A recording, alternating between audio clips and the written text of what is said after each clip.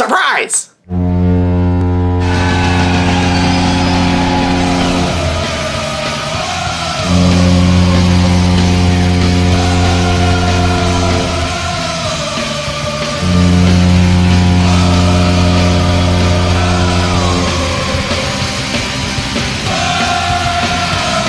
Hello, Ducks fans. Did you miss me? Nope. Welcome to a new season.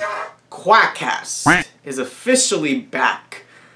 With the baseball season ending, I feel so bad for the Angels fan because his team is just had he had they had such a bad end of the season. I'm sure he'll do better next year.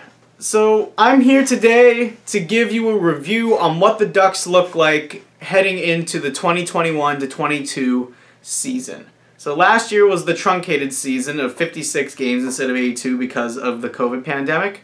It will be a full 82 this time around. Nice. And let's do a little bit of a review on the team. So the coaching staff will still remain the same with Dallas Eakins behind the bench as the as the main coach, but the Ducks did add some new coaches for the season. One of these being Jeff Ward, a former coach of the Calgary Flames.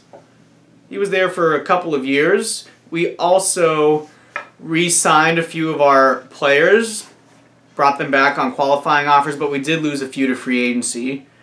We brought back Max Comtois, Max Jones, and Josh Mahura to two-year ex extensions and three-year extensions. Lundestrom and Steele were brought back on one-year pacts.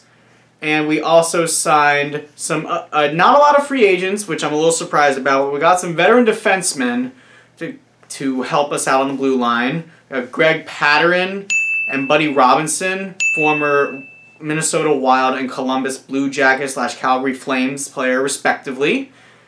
So not a whole lot to report there, but it will be a really interesting to watch our rookies, Trevor Zegras and Jamie Drysdale. You may have watched glimpses of them briefly last year. Drysdale is a defenseman, Zegras is a forward. Some there's some speculation out there saying that Zegras could be up for the Calder. What do you think? Leave your thoughts in the comment section down below. The few plays, the times I watched him, I liked what he was doing with the puck. He seemed to be very under control. He has a good shot. Just sometimes he would get knocked off the puck by defenders because of course he still needs time to develop, but that's what training camp and the preseason are for. That is correct. So the preseason will be seven games, and we will and it will start tomorrow versus the San Jose Sharks. It's a split squad game, and only the last preseason game will be on the TV. So you'll either the only way you'll get to know about the games and how they went is if you listen to it on the radio or use the app and listen to the. Uh, radio version on your phone. So I'm not expecting a whole lot for the Ducks this year. I'm expecting them to be kind of as bad as they were, even unless there's some kind of a miracle. But my prediction for this season is that the Ducks are going to win at least one game. John Gibson will still be the number one goalie, even though he has come out publicly and said that he is getting tired of losing. So if it's a really bad season, we could see Gibby get traded. And I mean, Anthony Stolarz looks like a pretty solid backup to him now with Ryan Miller retired. He did a really good job in his few years that he had with the Ducks. One of the other assistant coaches we brought back is Newell Brown, who is entering his second or third stint with the club, and he actually was one of the assistant coaches when Randy Carlyle was still here in 2007 when we won the Stanley Cup.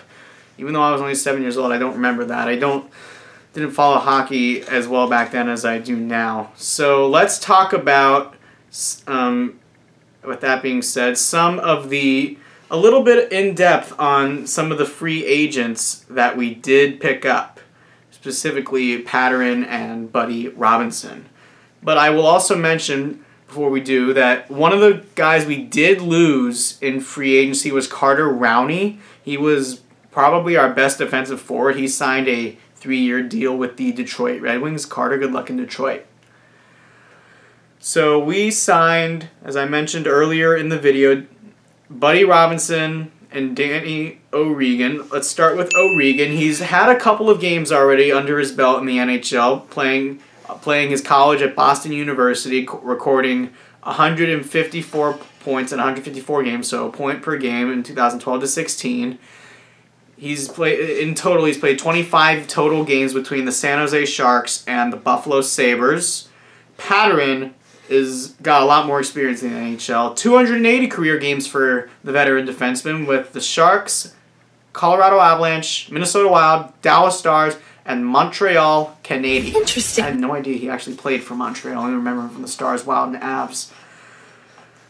He has 168 penalty minutes in his career, and he has he played 80 games in 2018-19, a career high when he was with the Wild, and he did and he was a good shot blocker. So this could be a, a good third pairing defenseman to go along with somebody like a Kevin Shattenkirk or maybe a Hampus Lindholm or something. Buddy Robinson, if I can find something on here. Buddy Robinson has only played in nine games in the NHL. He's he's 29 years old and it was with the Flames last year, 2020 to 21, and he only had three points in 13 penalty minutes. He's a big, big defenseman, and he's spent a lot of his time in the AHL. He'll probably be bouncing around like he did with the other teams he's played for between the NHL and that team's AHL affiliate. So nothing, nothing special there. And the only other sort of signing that we had was signing Tobias Rieder to a PTO, professional tryout opportunity. So, not a whole lot to report there. I hope the Ducks can do something. Like, I think this is another year of rebuilding and developing team chemistry. The team's not going to be the juggernaut like it was a few years ago when they went to the semifinals versus the Blackhawks and the Predators in 15 and 17, respectively. I expect this to be as I said, another year of uh, rebuilding and getting team development and chemistry down. Some more of the prospects need to emerge besides Max Comtois. Zegras and Drysdale need to take a step forward. Sam Steele, while he does have a career hat trick already, he hasn't really broken out into what he could be, and I hope that he can break out a little bit more. On random note, Comtois changed his number already from 53 to 44. You were expecting a different number, weren't you? But no, it's 44. So the regular season for the Ducks starts Wednesday, October 12th. That's in a couple of weeks, and it will be at home versus the Winnipeg Jets. Let's see how that game goes, and I will do an episode just prior to a day or two prior to that game right here on my YouTube channel. So that's it for this intro episode and team preview. It's officially the preseason, which means hockey is officially back. The Ducks' first preseason game will be tomorrow, a split squad game versus the Sharks. I am so excited for hockey season. How about you? Tell me your thoughts in the comments section below and which team do you root for? Do you root for the Ducks like me? Do you root for our freeway rival Kings or do you root for another team that I don't really pay as much attention to? Let me know. And with that being said, have a good day. Stay safe. Let's go Ducks!